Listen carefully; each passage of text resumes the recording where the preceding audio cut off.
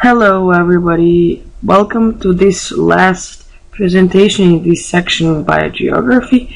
And today we will talk about cold and hot spots of world's biodiversities. And my name is Divna. So concerning very limited resources that we have at this moment like money, also urgent needs to protect what still can be saved out of the world biodiversity, uh, just think of extinction rate in the past decades. We need some serious thinking and calculations, basically uh, how to protect as much as possible biodiversity with the least of the effort. Of course, effort in a sense of space and money and time spent. Um, in the end of 80s, in the of the 20th century, British ecologist called Norman Myers, he developed this concept as an answer to the question thus to address the dilemma that conservationists face, and that would be what areas are most important for preserving species. Uh, basically, the least to invest and the most to gain. Or in which areas would a given dollar contribute the most towards slowing the current rate of extinction? And the perfect fit answering these questions was the biodiversity hotspot concept so as you can see, we can define a hotspot as Earth's biologically richest and most endangered terrestrial ecoregions. Um, certain ecoregions of the world exhibit both high species richness and also endemism. So Myers defined these regions of unusually high diversity as hotspots. Designation of the region as a hotspot of biologically diverse uh, space is based on two factors. Uh, first would be overall diversity of the region, and the second would be the significance of impact from human activities.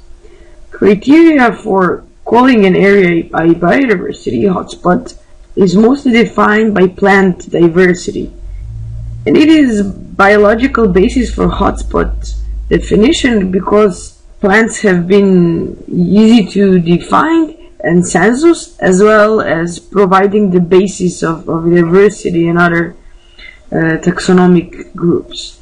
So, um, so to qualify a hotspot, a region must support 1,500 or more endemic plant species, and also the region must have lost more than 70% of its original habitat. And the other reason why plants are used as base for qualifying a biodiversity hotspot is that they're most of the time in the basis of the food chain and they support basically every major land hotspot.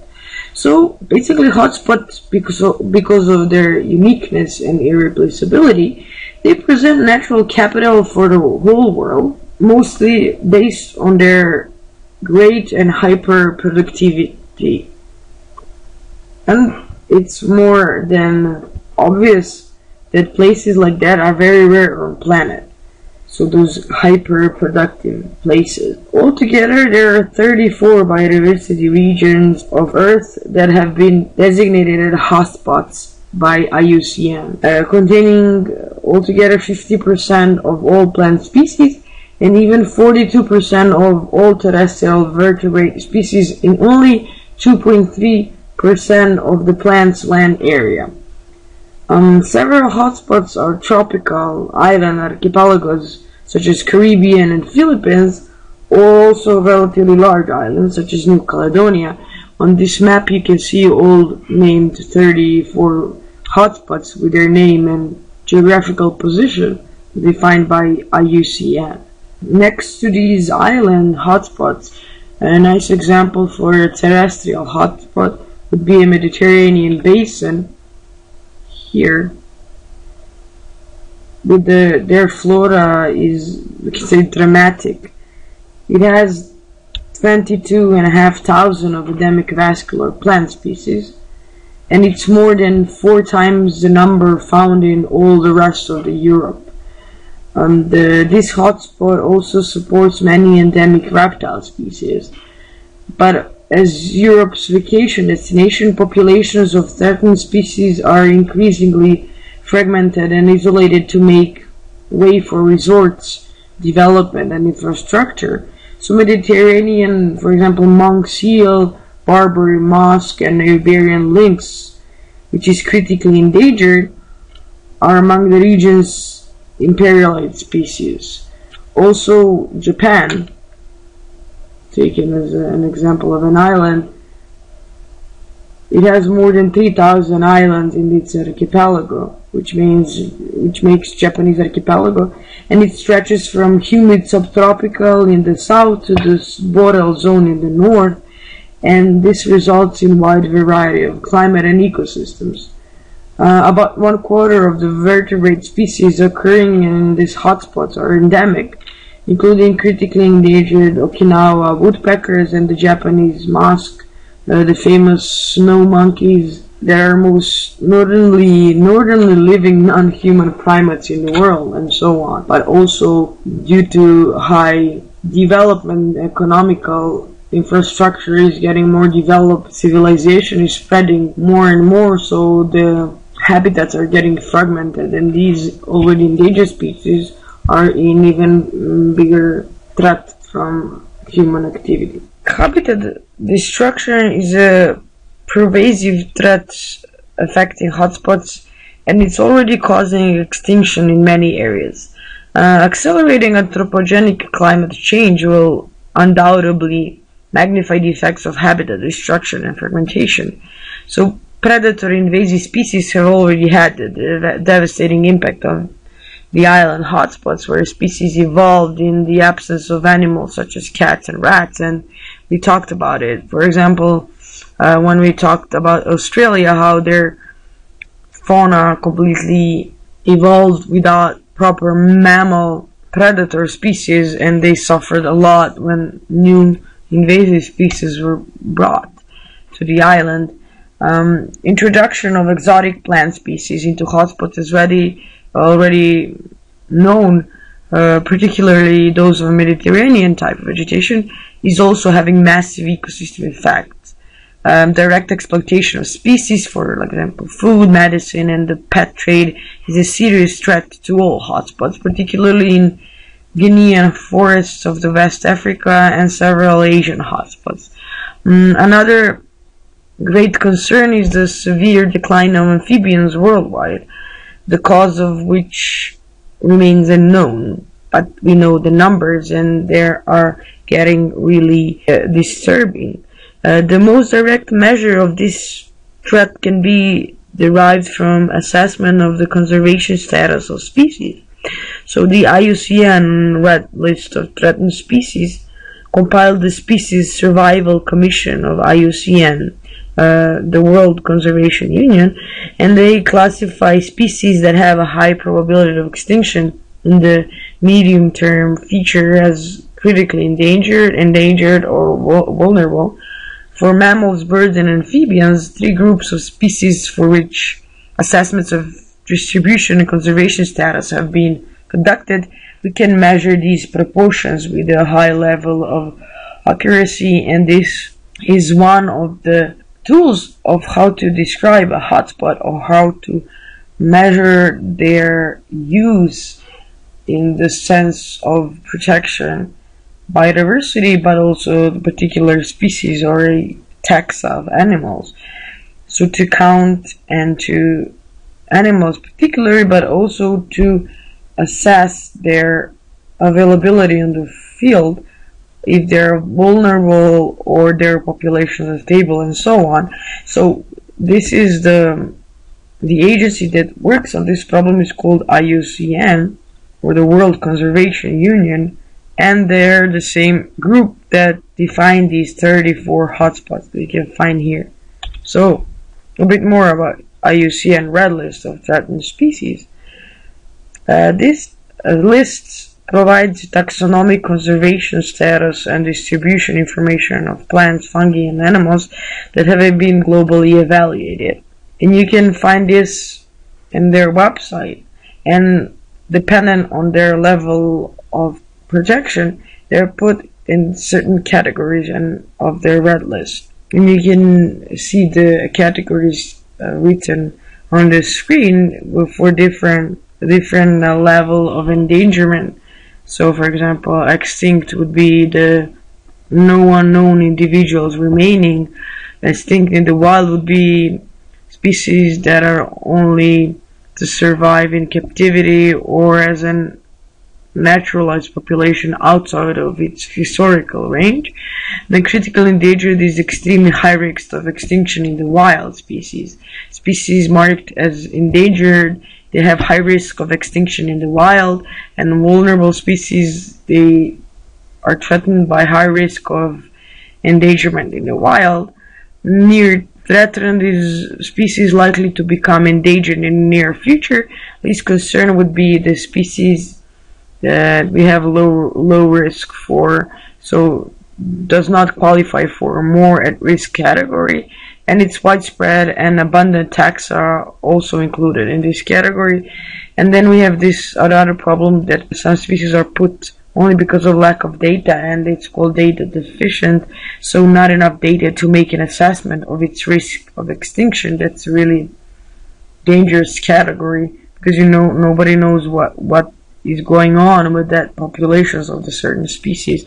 And also not evaluated that species had not yet been evaluated ag against the criteria and it's usually the case with um, for example insects or other smaller uh, organisms that are really hard to make an assessment about their population and their habitat assessment. Goals of a red list are formally stated goals of the red list would be to provide scientifically based information on the status of species and subspecies at a global level. Second, to draw attention to the magnitude and importance of threatened biodiversity. And third would be to influence national and international policy and decision making. They also said they would like to provide information to guide action to conservation biological diversity. So basically, the red list is just a tool of a future plans for protection, as well as hotspots, which obviously are really rare, tightly connected. Some areas as um, biodiversity are also maybe not so high in biodiversity, but are important for a certain stage of some animal development for example, uh, in the sea areas where fish are hatched, so they're vulnerable, and it's a place of let, let's say meadow that they're hiding in, and so on. So that's why they're, even though it's not really visible, and after a lot of studies, they show their importance in the fluctuation of biodiversity and keeping their richness really high. So altogether, IUCN Red List is a direct tool in providing assessment and conservation efforts regarding biodiversity hotspots. And why do we need them? Here you can see if you go, how it looks like if you go to IUCN Red List. So just to explain, you can see the species Latin name, their picture, and their category they're fitted in due to the evaluation of their numbers so basically how their population is doing on the field eh, it's long way down. So if you scroll down you can see some other facts about the distribution. Um, maybe some feeding information vegetation and so on some kind of ecology areas they could be found in here classification um, of taxonomy some other classifications and stuff, but this is what the red list is most uh, important and most famous for. So these categories, like as you can see, Panthera leo or a lion, African lion, is put as a vulnerable species. So basically, it is at high risk of endangerment in the wild at this point. One more type of biodiversity spots we mentioned in title is called biodiversity cold spots. The concept, their concept is relatively recent, so it was found in 2003, and it was introduced in basically conservation ecology as biodiversity cold spots. So opposite to hotspots we just talked about, these are called the cold spots. Cold spots would be areas with a low level of biodiversity. Thus, by these criteria, they are opposite to hotspots. But on the other hand, the reason why they, they represent areas of special care for conservational scientists are their level of endemism, and it is most mostly really high. Since cold spots are usually abiotically specific habitats, they are not exactly providing high level of biodiversity. So, on the other hand, hotspots can be said that they are mostly in these tropical areas. Cold spots are usually on the higher latitudes area with not so appreciated abiotic factors. So not providing high biodiversity, but they do provide high endemism level. Since their abiotic factors are not really appreciated, just a bit of strongest and most adaptable species could survive in those harsh environment and they adapted in such a high level to the specifics of that habitat that they could not be seen anywhere else in the wild and became endemic for the area of the specific with the specific let's say climate or water availability or some other lack of uh, essential matters for the rest of the world which these strong species adapted to and just because of them areas of biodiversity cold spots they deserve a special conservation status as well as biodiversity hotspots some example of the cold biodiversity cold spot would be a Pacific temperate rainforest, and it's located on the west coast of Northern America. And some amazing examples of adaptation to this type of cold spot would be um, evergreen trees or some subspecies of bears. Also, for example, bald eagle you can see in the picture or a Sitka deer that could be found only here. Okay, that will be it on the section of biogeography. From the next presentation, we will talk on some other topics. So if you are keen to find out what's next, see ya then in the next presentation. Thank you for listening. Bye.